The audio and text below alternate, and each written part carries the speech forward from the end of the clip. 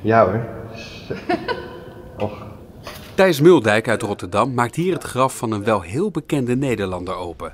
Hij is namelijk in het bezit van de grafsleutel van niemand minder dan Michiel de Ruiter, de admiraal. Thijs heeft de sleutel geërfd van zijn opa Jan Eldert Stijnvoort, die de sleutel van het voormalig Kralings Museum kocht. En hij heeft toen voor gekozen om de sleutel te bewaren.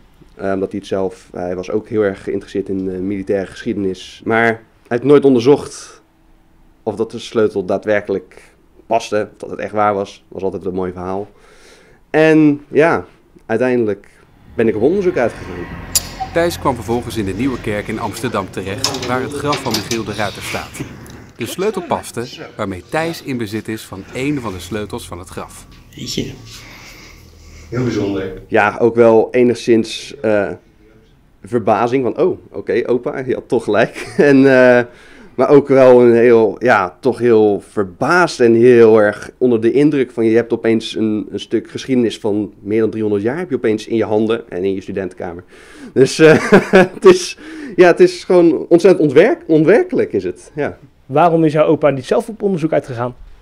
Nee, maar opa die had niet heel veel waar dat hij mee wilde pochen. Zo, laat ik het zo noemen, pochen.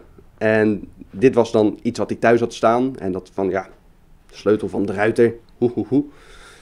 Maar ik denk dat als hij het zelf had onderzocht... en stel hij was nep geweest, dan had hij prul thuis.